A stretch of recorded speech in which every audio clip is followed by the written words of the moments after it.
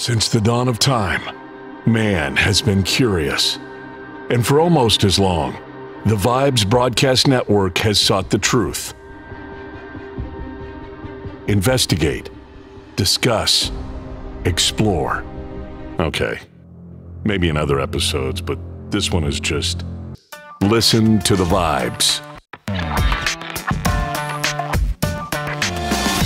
Views and opinions of our guests may not necessarily reflect those of the host or the Vibes Broadcast Network. Listener discretion is advised. Welcome, everyone, to another episode of Listen to the Vibes. And I am very privileged to have Miss Meirav Zur. I hope I said that right. Meirav. Yes. Meirav. I'm sorry. I'm sorry. it's okay. And uh, we're going to have a great conversation today. She is a performer and a director. And um, what else do you do? And producer and writer, and I and I and I'm you know, and I'm a mom, and I can juggle, and I can. what else? so tell us a little bit more about yourself. Um, yeah, so that's basically, I mean, what you said is is what I do. I'm a, I'm a creative. I love to to create, especially in the world of theater, um, like live in person theater. That's that's my jam. I love it. Um, I love on screen work too, but uh, you know that that special magic and, and in person theater with an audience is something else. So I really love that, and specifically within that, I love comedy. So um, that's mainly what I love to do and what I love to get engrossed in as much as possible. Uh, professionally, personally, it's yeah, I love it. So how long have you been doing all this? Um, professionally, I've been doing this uh, for almost 20 years, um, a little over like 18 years. Yeah. Oh, so gosh, since you were about one or two. uh, yeah. See, it's uh, no, a little bit after, but okay, I'll take it. Yes, since since then. so, if I read correctly, you wrote a musical. Um, yeah, I, I, I wrote several. Um, I I've been creating uh, productions. Oh, sorry about that. That's I've been okay. creating productions for a while, for uh, years now, and I've done everything from children's theater to uh, you know like kind of more adult geared uh, musical stuff, uh, music shows that have like, you know, with, with like bands and then like proper, you know, musicals like, you know, what you know in like Broadway, but smaller scale. Um, yeah, all different kinds. So that's, um, that's basically what I've been doing. Um, my most recent show that I've produced is a solo show, and that's um, the title of it has musical in quotations because it's kind of like I'm not a singer.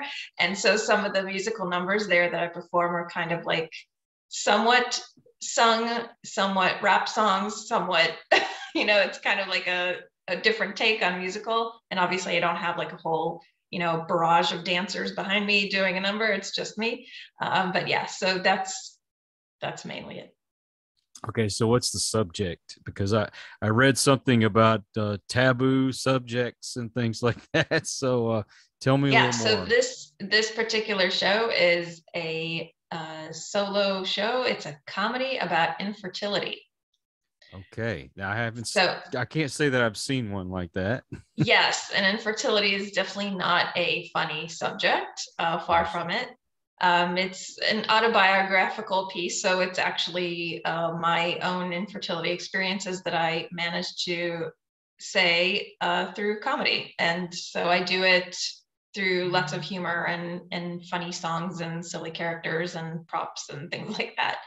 Um, and it started out with not even being a show. I mean, it started out of kind of my way of finally sharing what I was going through with my friends, which I never spoke about, like mm. through all the years that I was doing that. Um, and it was kind of my way of being able to finally talk about it.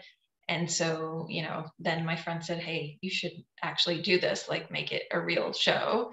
And it kind of, you know, from there, it became this thing now and this, uh, this show that actually works as a show, which I didn't think it would. Uh, you know, I thought it was going to be like a one night only premiere type of thing. And I was okay with that. But I was like, okay, you know, I'll do it to kind of prove to myself that I could do a solo show and it'll be one night and it'll be glorious and that's it. But, but it was, uh, it really resonated with audiences. And, you know, it was something that a lot of people were like, wow, I couldn't actually ever say that. And I've experienced it. Or wow, it's, you know, something that our daughter is going through. We never really knew what she was going through. Or even, you know, I had like medical professionals in my audience they're like oh you know our patients uh, we see patients like this all the time we didn't really think about it that way and you know like things like that so it really got me thinking that there's something to pursue here and and so kind of like became this mission of mine to have as many people see it as possible because it,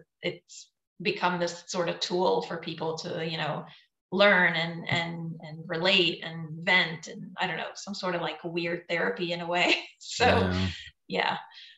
well i know it affects some people and it affects them pretty deeply because that, yes. a couple of friends that uh, they wanted to have children and were not able to and eventually they just split and it was sad because they seemed like such a lovely couple together and, yeah. and i mean i have three children but we lost five before my daughter was born. And uh, of course you know, i mean i'm fertile but we were having these problems and, and that is something that's kind of hard to talk about. I mean it, I, that was the first time I, that really broke down and i mean just i lost it I, honestly the first time we we lost a child and um i mean can you kind of tell what it is that you talk about that can help people? Sure. Um you know it, those experiences it's just um unfortunately so they're very common but ironically they're not talked about at all. So the people that are experiencing them including me like you feel like this complete you know kind of freak of nature that you're the only one in the world that has d- gone through this and it's a shame and it's bad and it's you know uh, weird and whatever it is uh, you know the guilt every every every possible emotion that can go with it goes with it. And it's completely consuming and heavy and um and on the one hand of course why would you want to talk about it? Because it's so consuming and heavy and and you know but um, you know, it, it's it's there, and it's something that I think um, should be talked about more because um, it, it so much more could be done, and so many people could be could get help and at least and not feel as alone. Um, you know, even things like you know these experiences miscarriages it's about one out of every pregnant uh, one out of every four pregnancies that's mm-hmm. a lot um, infertility is one out of every six uh, in many countries. In the US, it's one out of every eight couples trying.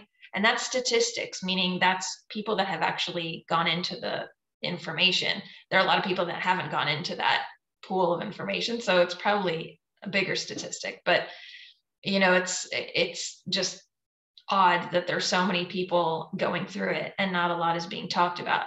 In in in the sense of, you know, coverage, uh, you know, financial coverage, um, medical yeah. coverage, um, just being more aware at work, you know, bosses should be more aware of their employees, employees should be more aware, you know, it, it just causes, um, it brings up a lot of issues and um, nuances in real life that we should look at like you know wow uh, people are going through stuff and even besides infertility it just makes you realize that everyone's got their baggage.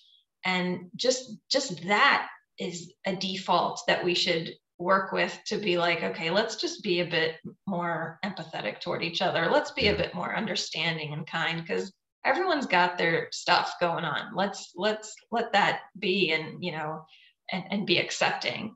And you know to answer your question what what should people do? I think people that are going through it first of all need to know that they're not alone which is i know easier said than done but but they're not alone. And especially now there are you know digitally at least there are so many avenues to reach out and and connect with other people going through this. Um, not to mention of course in person and, and finding the community to get that support. It's so crucial because the emotional toll of this whole thing is is horrendous Mm-hmm. And, you know, to the people uh, that are, you know, what should we do that, that are not going through it, but know someone, because statistically, everyone is either going through it or know someone. It's just yeah. that's the statistic. um, you know, it's just just to be there and be aware. Uh, you know, I have this thing in, in the show that I, I do this little song of what not to say to people who are trying to conceive because there's so many, you know, well-meaning yet completely tactless pieces of advice that people tend to automatically say. And it comes from a really good place of course but it ends up being just like why are you saying this now? It's not helpful you know? So um, and eh, you know and it comes from a good place If someone you know someone tells you a problem you immediately want to help fix it. So it, you know it comes from there i get it but it just ends up being very ridiculous you know? But um so you know the song is, is funny but it's there to kind of show hey you know just be there. That's all sometimes that's all you have to do is just be there listen offer help if ever they need it you know and it can come in many forms you know just to listen have a cup of coffee uh, you know understand if you you know have this event with your kids that maybe someone experiencing infertility doesn't want to show up to you know it's things like that. Um, just just that empathy and understanding that hey it's okay if you know someone you know is going through something that you don't understand but just understand that yeah. understand that the i'm guilty of i always want to help people and i want to give my advice but it, it, it's difficult as it is you you should ask before you right. give any advice because sometimes people just want to vent. They just want right. to hear. They don't want you to give them any advice. Just just listen. Right. You should take more time to do that. Right. Right. And you know, and and on on the flip side, you know, trying to to connect with people that have, you know, others that have gone through it is actually great because you know there's all this information suddenly that you have access to because mm-hmm. if someone else had gone through something and then they're like oh well you know um, I, I went to to that i tried that and you know this worked this didn't work or you know maybe you should you know these providers are you know very caring and these are not or you know things like little tips and you know from anything like the weirdest thing. So sometimes it is helpful to to get advice but it just depends you know where and when and and and how it's done. Uh, but i think um, that the value people really underestimate the value of just being present with someone. Yes. It, it just mean it means a lot. So yeah. Uh, if you don't mind me asking, where where did you go? Um, where did I go for help? Mm-hmm.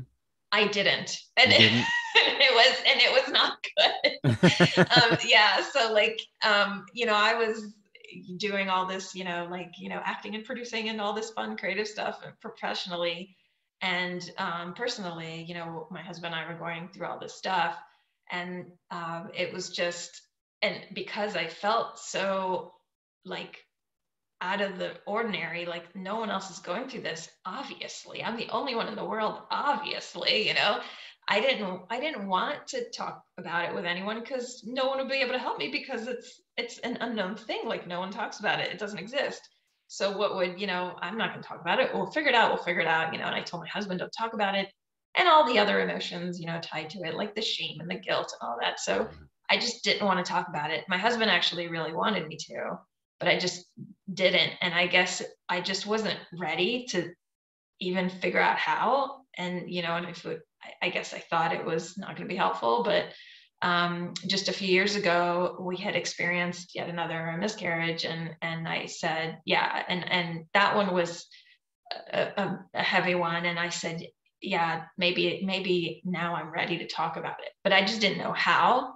And then I I came up with the idea of like, okay, I'm just gonna invite my friends over and and tell it to them through comedy, like how because I can't even tell it to them like like I'm talking to you now. I'll just start bawling and crying. It'll be, it's too it's too heavy, you know.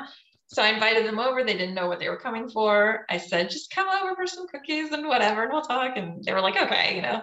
And they came over, and I and I just like, you know, spilled all the all the beans on everything that you know I was going through. But I did it like through humor because it was the only way I was able to even, you know, get the words out. And then that's how it started. And then the the funny thing was, I I just thought it was going to be that thing. I was like, okay, this is it. I'm telling you now never having to talk about this again. Now you know, you can leave. And basically, that's what I thought would happen. But they didn't leave and they just started, it, it brought up a bunch of stuff that they had experienced similarly. And I was like, what? Like, we're a room full of friends that you know and we don't really know all the details of each other like what and that got me thinking like people don't really know stuff that's going on and and that really got me intrigued. And then when my friend said you have to make this into a real show i was like yeah okay. And and i did. It took me about a year to kind of you know write and and get it together. Um, but yeah once i did that show and i saw that it, it there was something more than that one night yeah it there's something there. It's something in that in that topic that people just don't want to touch but it needs to be you know a bit more talked about a bit more openly do you know of any organizations that someone that might be watching this or listening to this may be able to go to? Um, yeah so in the us um, there are first of all there are many organizations um, that are uh, you know helping whether it's finding whatever path to parenthood is suitable for for people which also no one really talks about you know it's not there's not only one linear path to parenthood which we all were taught and conditioned to learn you know like okay it's just you know a man and a woman and there's a baby like it's not like that anymore like there's you know different ways to become a family um, and so there are many organizations that help with that in the US, uh, especially. Um, there's, you know, a national organization to help with that uh, called Resolve. Um, but there are many, um, you know, local places that could also help. And the easiest way is even, you know, asking like uh, regular like OBGYN that, you know, the like health providers they know and google is great with also finding um, places and um, there is a big um, it's called an infertility community um, big one online especially on instagram and you could just you know search hashtag infertility community and you'll reach tons of you know people that are offering information and support and uh, it's just it's great there are a lot of people actually opening up like anonymous accounts on Instagram just to kind of document their own journey or vent or get support. And it's a great, it's it's actually a great way because if you don't want to go to a group or, you know, in any way be identified or, you know, whatever it is, it's still an outlet um, and it's great. So there's there are those options. And of course you, you know, people can connect with me. I'm very uh, open now. I'm very open and i talk about it and i'm you know very responsive and i love you know, I, I think it's one of the big benefits of the show is I've gotten to meet so many people and hear all these stories, amazing stories of, you know, all this craziness. I'd offer to give mine away, but they're all in their 20s and I don't think anybody take them. So yeah, it's uh and it you know, and it's funny because, you know, it's like I, I have also a bit in the show that I do about, you know, sex ed. It's like the things we learned in school was, you know, later on you find out like for many, many, many people, that was their initial main source of information. Um, and it was completely lacking in what you needed to know and all you needed to know. And it was just like, you know, mind boggling that, wow, we don't really know the things we need to know. And, and more importantly, for self advocacy, um, you know, a lot, the human body is not, you know, we're not cookie cutter humans. True. And everyone has their own thing that they need to kind of, you know, they, they have to check what what they want to check and and with who they want to work with and so self advocacy is super important and the main you know power here is information and knowledge. Yeah. I'm sure you'd probably talk about surrogates and adoption and things like that too, right? Um, well, in the show specifically, I talk about my own experiences. So mm-hmm. it was, um, I did, I did not go through that, but um, I do touch upon that because those are topics that are again not talked about. You know, a lot of people, mm-hmm. and and even me, when I was deep in it, I did not even know about those options. And I think that is like, it's such a shame because, you know, a lot of people are probably like that. They they don't even think those are viable options. They don't even know what their viable options are. Um, until they're really down in the muck and like really trying and and i always say it's like why can't we just have a pamphlet just tell us you know what are you know what's going to happen what can we do what you know what do we need to know um, but yeah that's why it's it's important now to kind of do it for yourself. And it's like you know get get the information get the support because it's there. Yeah. So let's let, let's talk more about your your improv and and yeah. uh, everything that you do. So um what uh what other big projects have you done? So um i think the the biggest project i, I i've done was you know my very first play that i wrote um, was initially something that I, I did because when I started out, I started as an actor. And, um, you know, in that world, you kind of have to be at the mercy of whatever production is there if there is one to get a job and then you go from job to job. You have to go to an audition and then hopefully pass that audition and then hopefully there isn't another one and then, then you get the job and then you know.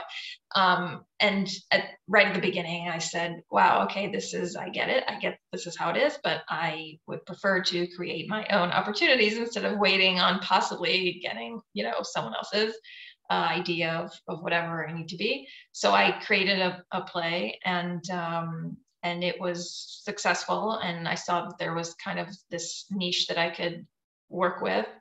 And i ended up creating an entire uh, mobile theater. So it was kind of like this traveling theater. Um, it was in israel at the time when i was living uh, and i lived there for many years and and it was uh, you know this thing that i didn't even think was also going to be anything more than that play but it kind of you know uh, had its own inertia um, and it was great it's it, it taught me a lot and and then then you know out of what i needed to you know it, it I needed to be, I needed to have a producer. So I became a producer. I needed to have a director. I became the director. You know, I, I became the the driver and the marketer and the, the costume designer and all this. A lot of hats. yeah. And until, you know, until I was fortunate enough to meet the the, the people that could help me and, and work with me in those fields and, and knew what they were doing. And, you know, I can get them to work and, and collaborate with me. But it's, um, it, it, I really like that fact that I got to dabble in everything because it got me to see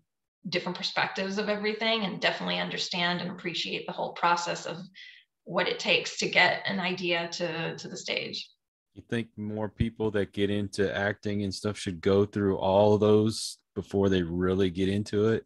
Yes, I think everyone that's going into the field of entertainment should dabble in all the parts, even the ones they think are completely boring or hard or whatever.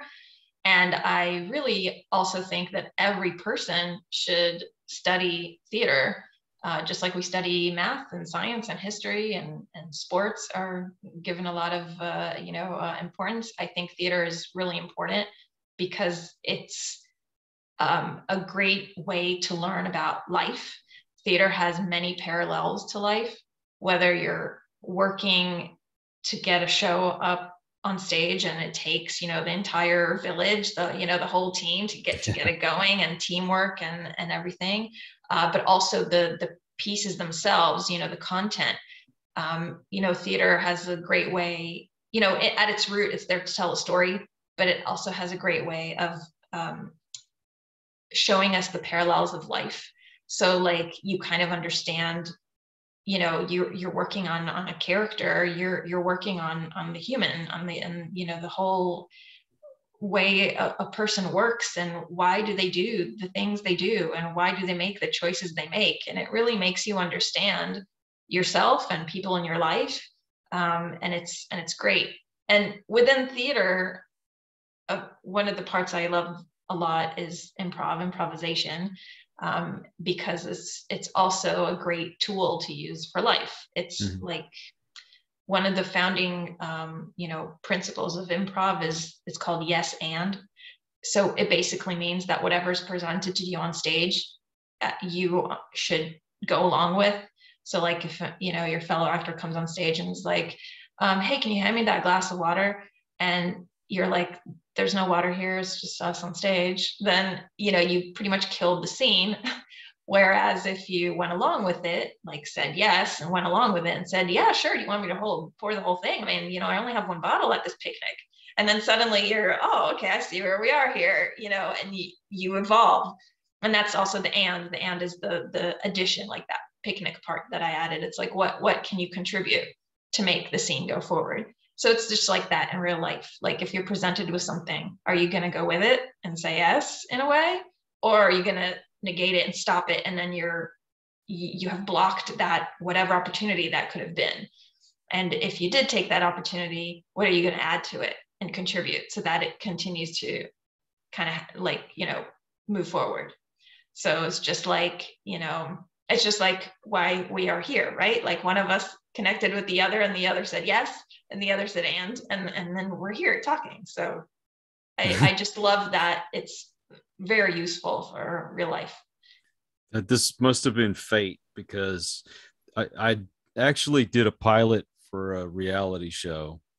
It was a few years ago, and that was easy because I mean, just go out and you're yourself. Right. Um, of course, some people can't act natural on camera, but yeah, we're we're goofballs, so it was no big deal. But it it didn't make it, and, and now I just got a part in an indie film and so uh, that that starts next year. Um, I haven't done anything professional like that. Everything's always been, you know, plays and things.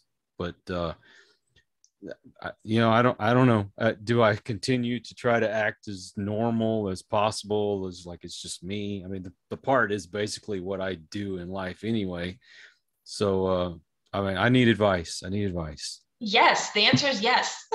you you do you. I mean, if that's you got the part, maybe that's how you got it and why you got it. And if you well, it didn't help. Be, um, and, it didn't hurt that I'm friends with the director. So yeah, but I'm sure that that's why that you know you were in mind. I mean, they could you know there's a million people out there that they could have chosen. So I think that if you you know first of all go with your gut and say and you know do the yes like you're going like you are and i'm sure that if the director wants something else then you know they would they would say but um, I think that's awesome. I think that's, you know, that's a great way to kind of go with the flow and look how, you know, this opportunity is there. And then, you know, you never know what's going to happen when you're, when you're doing it and who you're going to meet there and then what that leads to. It's, it's awesome.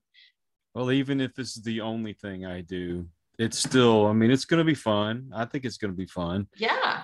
The, the, the whole time we did the reality show, I mean, it was three days straight of nothing but filming you know I, even though we didn't make it the experience was something that i'll take with me forever. And I, I learned a very valuable lesson. Make sure you turn your mic off before you go to the bathroom. I have a really funny story about that. Um, but first, yeah, I want to say that's one of the most important things I think I mean, in general in life, right? Like what we, what the point of everything is, is to, you know, live and learn, like to learn and to improve and grow. So what you're saying is so true. It's like, it doesn't, it, you're not doing something for the purpose of whatever might be. You're doing it to do it, to yes, and move forward at that point in time. And, and learning whatever you're learning is awesome. Even if it's learning to turn your mic off before you go to the bathroom, which is great. I have uh, one of the um, one of the cast members in one of my shows was telling us that um, he had he had gone to a public uh, bathroom and he was in the stall and there were other people there in the stalls, of course. And all of a sudden, um, his um, his GPS was still on on his phone, and all of a sudden. you have reached your destination, like out loud. and then he was he didn't even know what to do with that. And everyone knew it was coming from his stall, and it was just you know so funny. You've done it. You've reached yeah, like out of nowhere. It's just hilarious. Well, uh, for me, the practice is is I, I do these shows all the time, and I, you know, I have no problem being on camera. I'm not shy whatsoever. Uh, um, I, I do have my moments where I get nervous, get tongue tied. Sometimes my stuttering will come back. My brain works faster than my mouth does.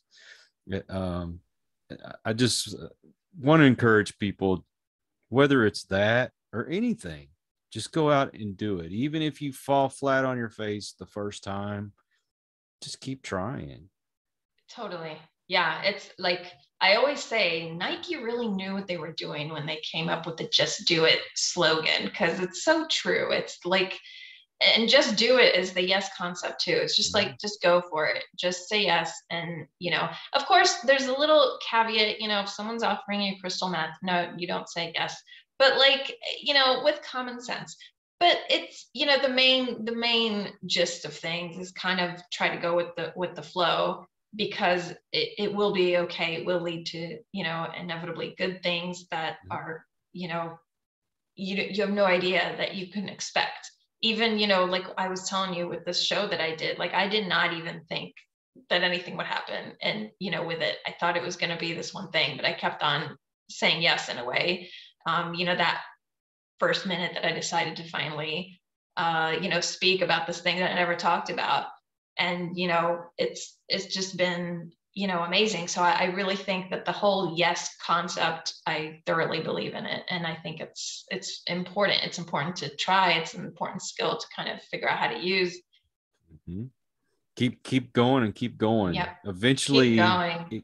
eventually you could be successful. Yeah. You know you've heard the story of formula 409 right?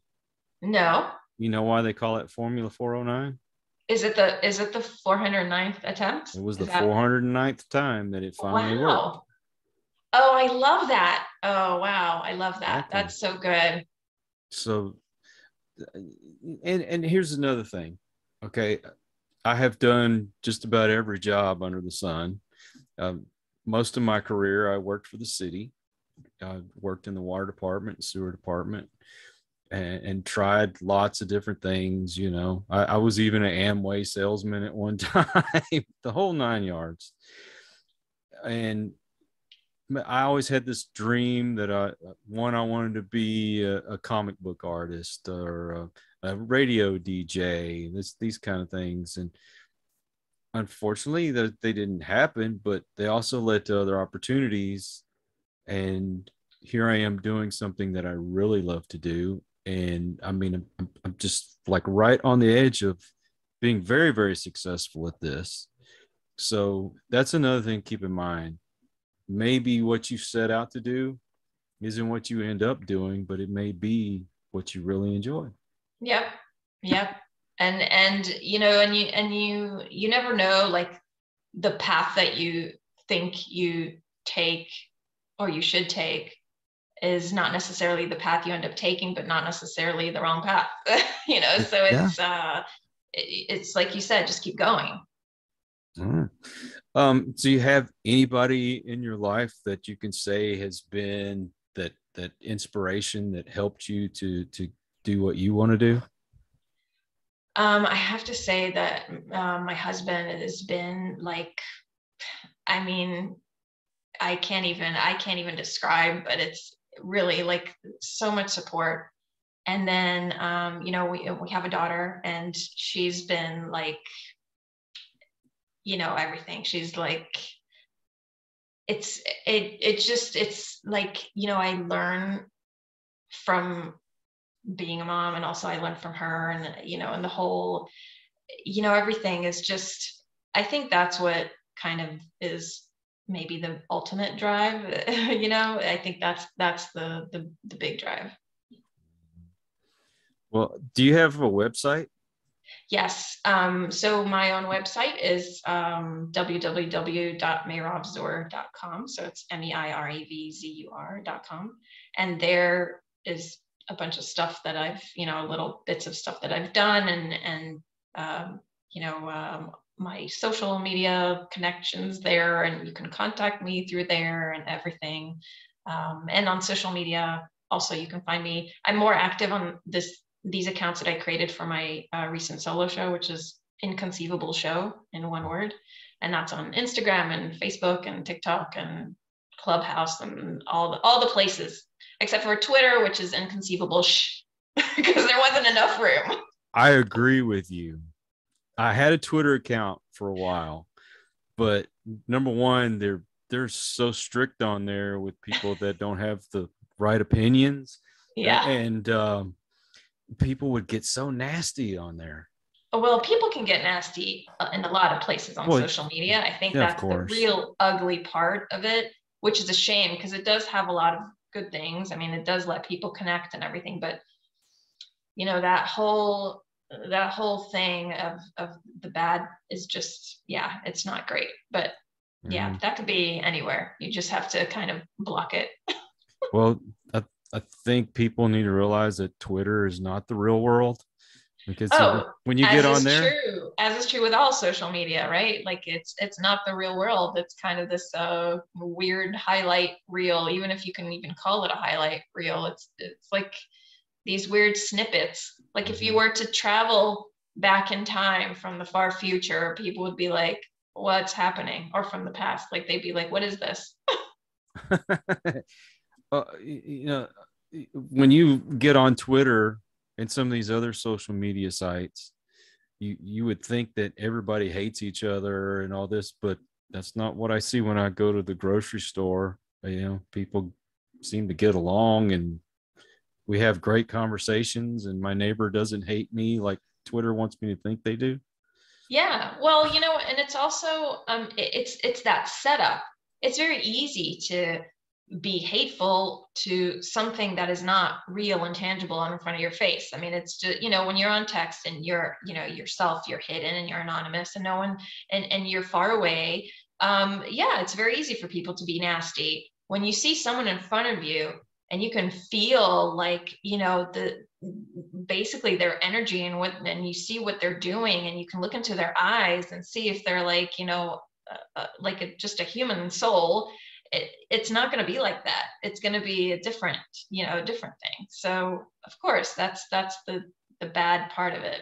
Yeah. I, I love the fact that i can meet a total stranger at the store it could be one little thing that you find in common and the next thing you know you're having a 30 minute conversation with this person you just met yeah i love that yeah Not, that's like i think the the power of of you know the the human species that we kind of take for granted.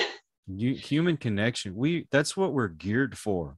Yeah, it, we're hardwired for that, and mm-hmm. and the fact that um, you know it. Unfortunately, we're in a lot of uh, spaces where it's easy to fall and not do that. Um, it just takes away. It's you know it's the whole thing with you know with devices in general like kids you see that are that don't know how really to communicate with humans because they're they're you know stuck they don't even know you know i, I also run uh, workshops for theater and and and improv and things for people that are not experienced with it even kids and i often find that the most mind-blowing thing is when i do a simple exercise of like eye contact mm-hmm. and to them it's like they just discovered like this this new like this whole new world. It's like oh what? You know because uh-huh. when you have eye contact it's this whole thing and they're not used to it. They don't do it. So you know it's it's really interesting. Do, do you ever work with children maybe they have autism or something like that?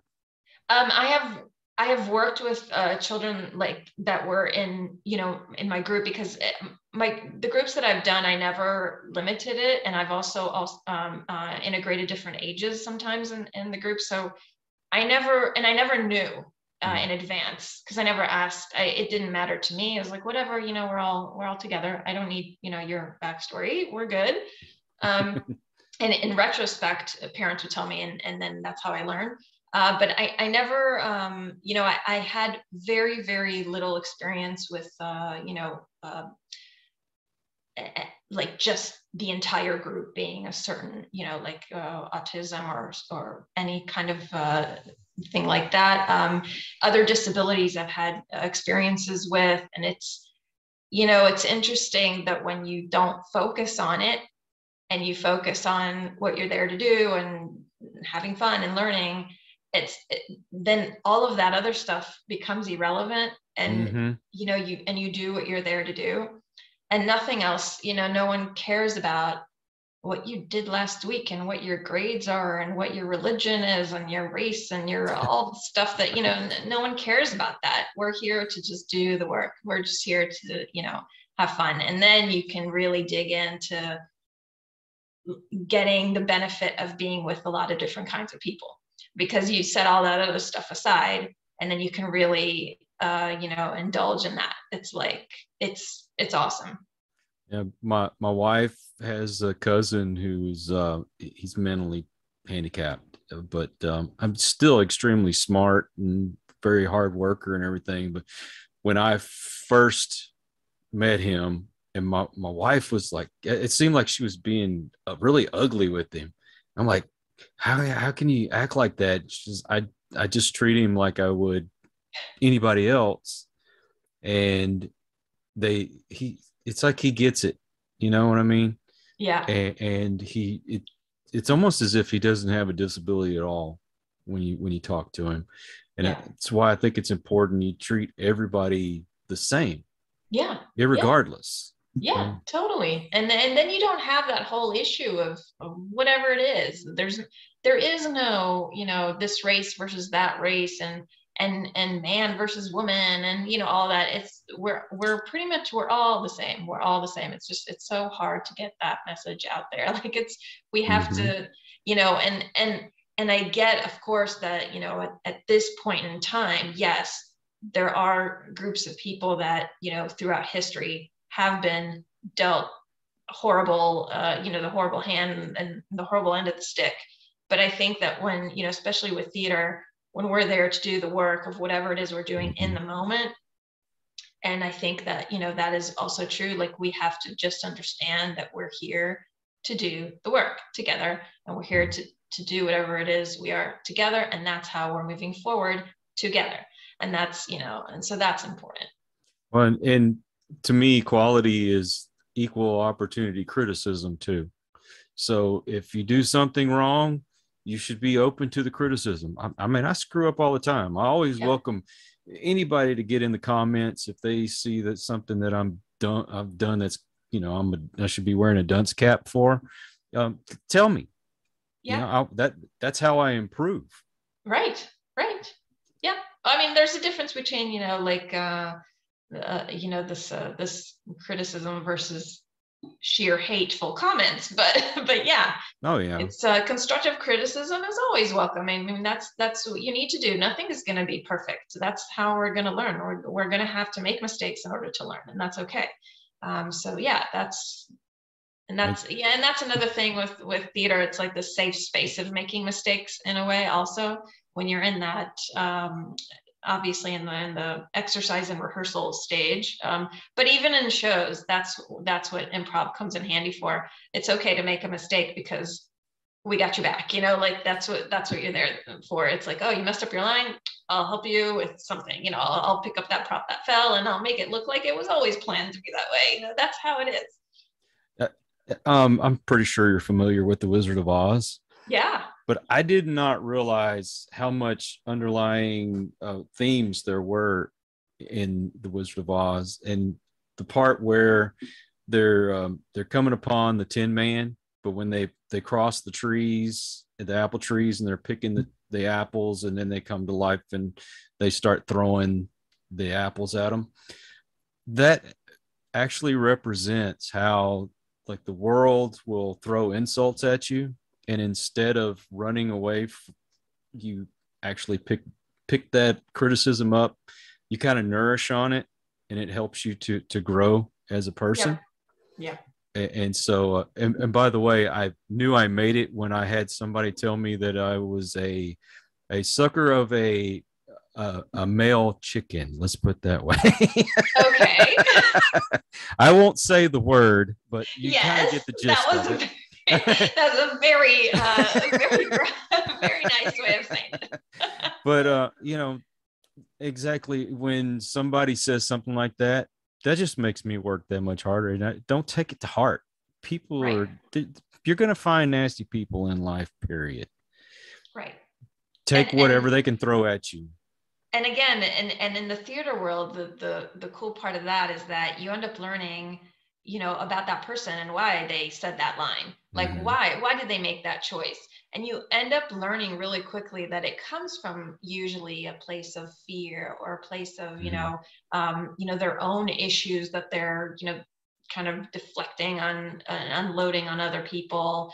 Um, you know the the how people make their choices and why it's just it's so helpful to know. And then you're just like oh okay so it doesn't bother me because it wasn't me. Yes. it was you know yeah. Sometimes it's jealousy and sometimes yeah and there are reasons for that you know it's like people do what they do for many many reasons and whatever you know that those set of circumstances are. But uh, once you understand that that's how things work it just makes things a bit more you know a bit easier to to get it and kind of be like oh okay. And you don't have to be in that you know kind of like what what did i do? or you know why? So do you have any projects coming up um, well, right now I'm, I'm actually, I've, I've started because I always have these things that I'm like, oh, wait, that would be a good show. And like, you know, and I start writing. So I, I already have kind of um, this idea for, for a new, a new project to work on, but I'm really trying to uh, focus mainly on um, Inconceivable on my uh, solo show because I really want to get it out there to as many people as possible. Um, I was, you know, I, I had been performing it quite a bit and then the pandemic hit and it really shut down everything obviously in person. Um, i did make a switch to virtual uh, but of course it's not the same as in-person performances. And so now it, it seems like hopefully it's kind of getting back to something.